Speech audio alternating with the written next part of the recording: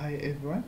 So uh, today I'm going to be teaching uh, based on uh, tutorial sheet 5 so I'm going to be explaining how to solve the questions in tutorial sheet 5 MSM 111 so the first question is uh, solve the following equations. So to solve these equations you need to understand their basic rules of um, of logarithmic and exponential functions so these rules are the ones that can allow you to solve such questions. So the first question that we have there we can see to say 3 squared is equal to 27 this is not a true statement. It can never be true. So for this statement to be true maybe they needed to put x there instead of 2 so this I'm sure was supposed to be in this format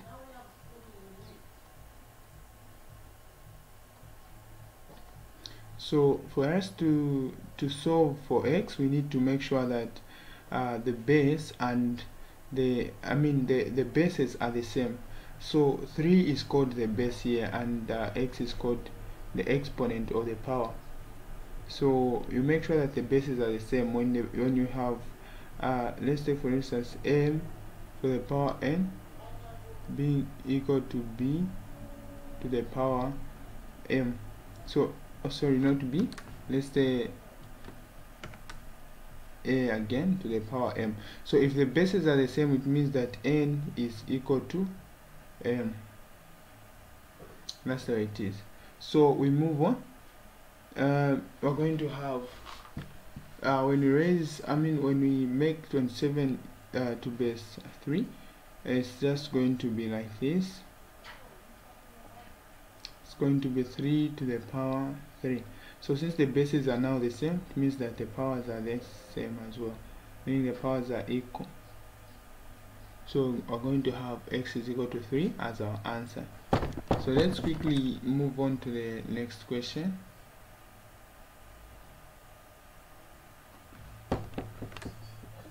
So the next question there is saying we find this so 1 over 2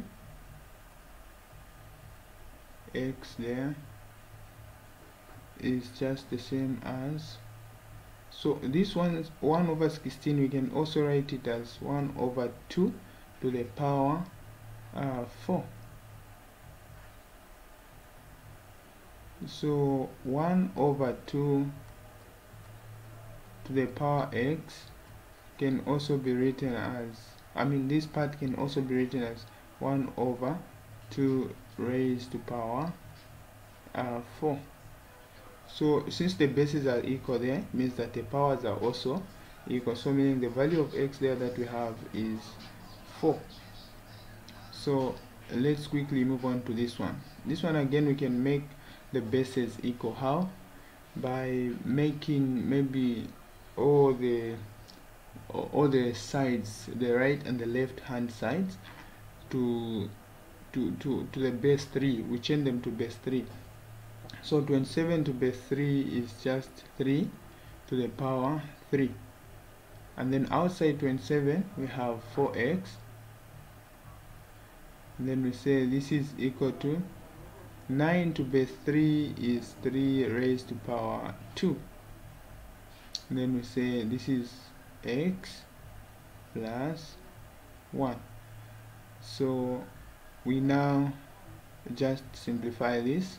We have 3 raised to power 12x being equal to 3 raised to power uh, 2x plus 2 so since the bases are equal it means that the exponents are also equal so we're going to have something like this.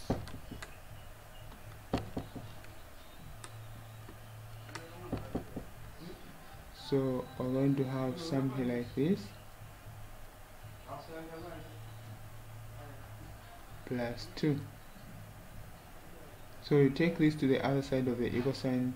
You're going to have 12x minus 2x being equal to 2 so this gives you 10x is equal to 2 then the value of x there will now just be equal to 1 over 5 so this is your value of x. So we do the same even on this uh, other question.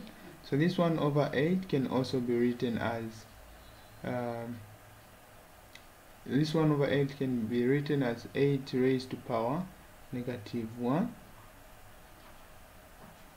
and then we have negative 2t there. And then this is equal to 2 uh, t plus 3 so what you do here again is uh, you do the same things that what that we are doing. Uh, what you do you you make this 8 to base 2 so it's going to be 2 raised to power 3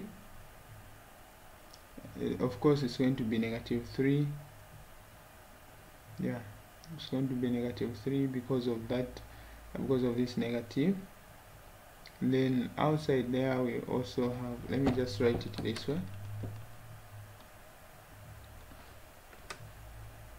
Yes.